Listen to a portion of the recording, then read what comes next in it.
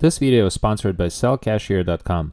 They compare iPhone prices on the internet and give you their instant quote and the most cash for your iPhone. Hey guys, this is Edward Techvarium. A lot of iPhone 6 Plus users have ended up with a bent phone screen, and this renders the phone screen completely unusable. Well, there is a solution for that. And if you follow along this video, all you need is a micro SIM card and a couple of tools, and you will be able to get your iPhone screen up and running in just no time.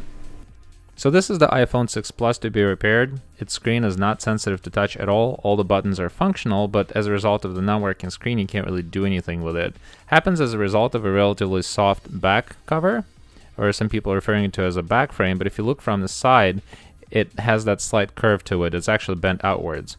So what we're going to do here is we're going to fix it by using a micro SIM card. What I'm going to do here is I'm just going to turn it on and what I'm going to do also is I will show you the tools that are needed. You need a plastic pry-up tool, you need a micro SIM card that's to go between the metal plate and the flex cables. And you obviously need a couple of screwdrivers. So you need a smallest pentalobe screwdriver that's available in the set to remove these two screws on the bottom. And you will also need another screwdriver that's going to be just a regular, uh, very small Phillips and then you will also need a double-sided adhesive. And the reason I use this is when you take the screws out that hold the metal plate in place, you want to make sure that you preserve the screws in the original order. So you can actually place them on a double-sided adhesive. So when you're reassembling the phone, you can take the screws off the double-sided adhesive and place them in the reverse order compared to how you assembled it. So as you can see, you can use the buttons, you can try to turn it off, but the screen is not responding at all. You can't cancel out of this and you can't slide the slider to the right to power it down. Although you can turn up and down the volume. Those, those will work. So in order to fix this, follow along and I will guide you through the entire process. So what I'm going to do here is I'm going to slightly magnify the video so you can see a little bit better. And I'm also going to put on some gloves, which I highly recommend. Uh, this is not necessary, but it just really prevents any grease from getting onto any of the contact plates or any any surfaces that are inside underneath the screen. So the first, what we're going to do is we're going to remove these pentalobe screws. They do need to come out entirely, both of them, and you need to place them on a double adhesive tape to make sure you don't lose them because they're very small. Next, we're going to use the plastic pry-up tool, starting at the bottom, fitting the pry-up tool in between the back cover and the screen, and working our way up very slowly and carefully towards the upper portion of the screen. Be very careful and be very patient because it is possible that you could break the screen, so take your time with this and don't rush. And once you make it past the middle, it will feel as if the entire screen has come out of the frame. So then you just slowly lift it up. Now you do have to stop slightly over a 90 degree angle to make sure that you don't break any of those flex cables that are hidden behind that metal plate right there. And that metal plate is what we're going to remove next. This is the micro SIM card that's going to fit in between the flex cables and the metal plate, and it will enhance the contact between the flex cable and the logic board.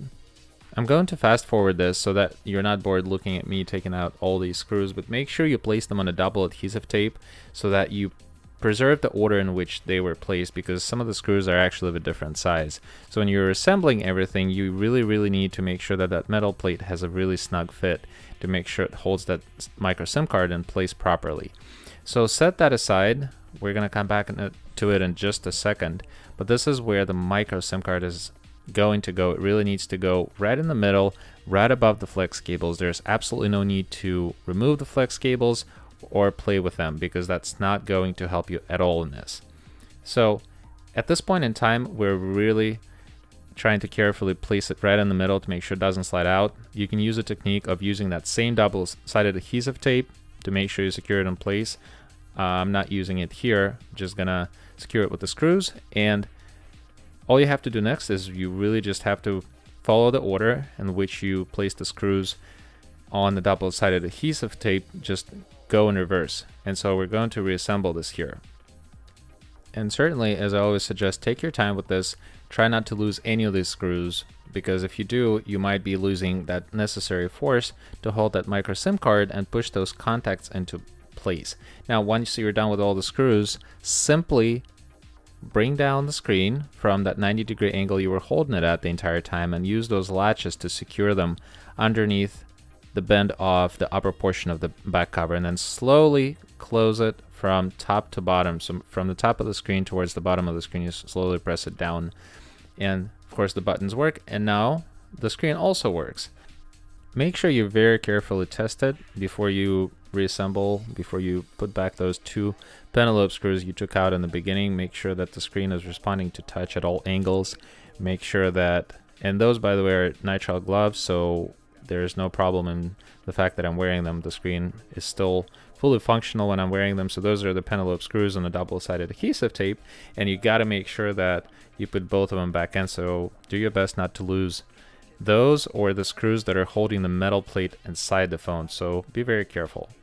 So we're going to test it one more time without gloves to make sure that it's still responding to touch because it is possible that the micro SIM card could have shifted a little bit and over time it'll start working. But if it's been working for the last couple of minutes, it's likely that it's going to continue to work.